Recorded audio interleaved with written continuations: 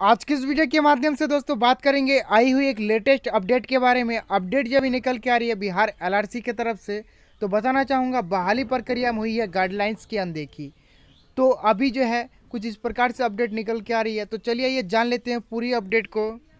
तो देख पाएँगे, कुछ इस प्रकार से अभी जो जानकारी निकल के आ रही है कि बहाली प्रक्रिया में गाइडलाइंस की जो है अनदेखी किया गया है, उसी की रिगार्डिंग पूरी अपडेट दी गई है कि बहाली में हुई तकनीकी गड़बड़ी के चलते भूमि सर्वेक्षण के मामले में राजस्व एवं भूमि सुधार विभाग के सब की धारा पे पानी फिरने की आशंका।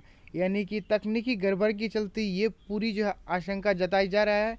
बहाली प्रक्रिया जो है ख़त्म हो गई है। तो आप लोग को बताना चाहूँगा, अभी जो है आप लोग का जो पद के लिए अप्लाई हुए थे, सभी पद के लिए आप लोग का जो है अभी बहाली प्रक्रिया ख़त्म हो चुकी है। उसके बाद जो है 275 पदों पर जो है विशेष सर्वेक्षण सहायक बंदोबस्त पदाधिकारी का रिज़ल्ट भी आप लोग का आ गया है। और बात बात सबका जो है रिज़ल्ट अभी जो है अटका हुआ है। एक ही इसी के साथ यहाँ पे बताया जा रहा है कि कि इधर वंचित आवेदकों को जो है एक तकनीकी पहलू को उठाकर पटना हाईकोर्ट का जो है दरवाज़ा खटखटा दिया है और यह नतीजा निकला है कि अब तक सभी पदों का रिज़ल्ट जारी नहीं हो पाया।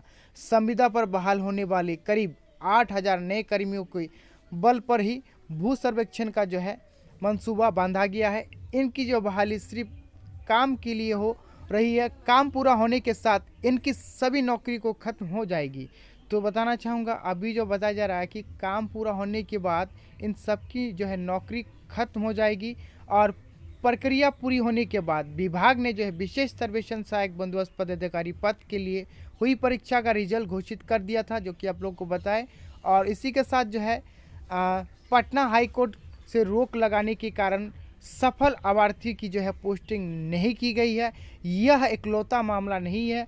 प्राय सभी पदों के लिए बहाली को जो है हाई कोर्ट में जो है चुनौती दी गई है और विभाग को जो है कोर्ट की ओर से किस्ते में जो है नोटिस दिया जा रहा है और साथ ही साथ जो है विशेष सर्वेक्षण सहायक बंदोबस्त पदाधिकारी मामले में अगले महीने में जो है तेरह तारीख को जो है सुनवाई होगी। तो विभाग की जो है विभाग को इससे पहले शपथ पत्र देने के लिए कहा गया है।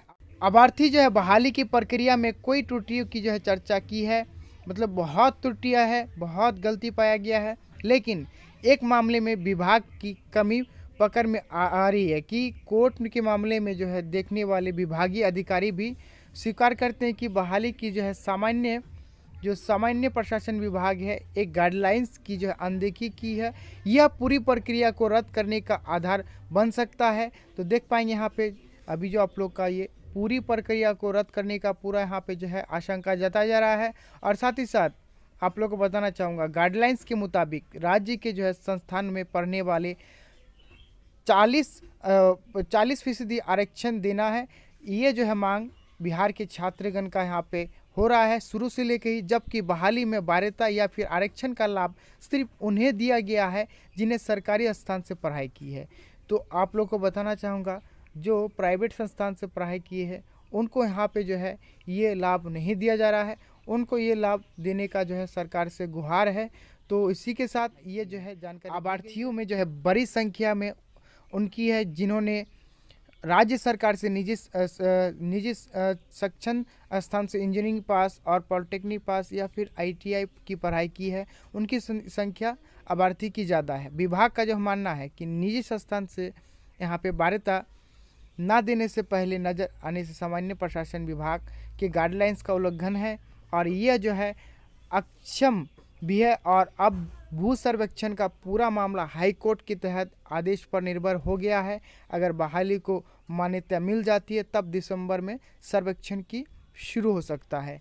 तो यानी कि कुल मिला के बात हुआ दोस्तों, जो अभी आप लोग का पूरा पद लगभग आठ हज़ार से अधिक पदों पर जो आप लोग का फॉर्म भराया हुआ है, इसके लिए जो एक ही पद का आप लोग का जो है यहाँ पर रिज़ल्ट निकला है, जो कि दो सौ पचहत्तर पदों के लिए इसका जो है पद है। विशेष सर्वेक्षण सहायक बंदोबस्त पदाधिकारी ये आप लोग का जो रिज़ल्ट निकला और साथ ही साथ सभी का अभी हाई कोर्ट में मामला चल रहा है, ये आरक्षण का मामला चल रहा है चालीस फ़ीसदी का और साथ ही साथ अभी यहाँ पे आशंका भी जताया जा रहा है। अगर कोर्ट यहाँ पर जो है, अब तकनीकी गड़बड़ी जो हुआ है गाइडलाइंस की जो है यहाँ पे अनदेखी हुई है, सभी कुछ मिला के यहाँ पे बताया जा रहा है कि अभी रद्द होने के कगार में है। अगर रद्द नहीं होती है तो दिसंबर तक जो है पूरा प्रक्रिया पूरा कर लिया जाएगा। अब आगे इसकी जो भी नोटिस आएगी, आप लोग के साथ इसी तरह शेयर करते रहेंगे। जुड़े रहिएगा, बने रहिएगा चैनल को सब्सक्राइब कर लीजिएगा। तो मिलेंगे बहुत जल्द और एक वीडियो में। तब तक के लिए बाय। धन्यवाद।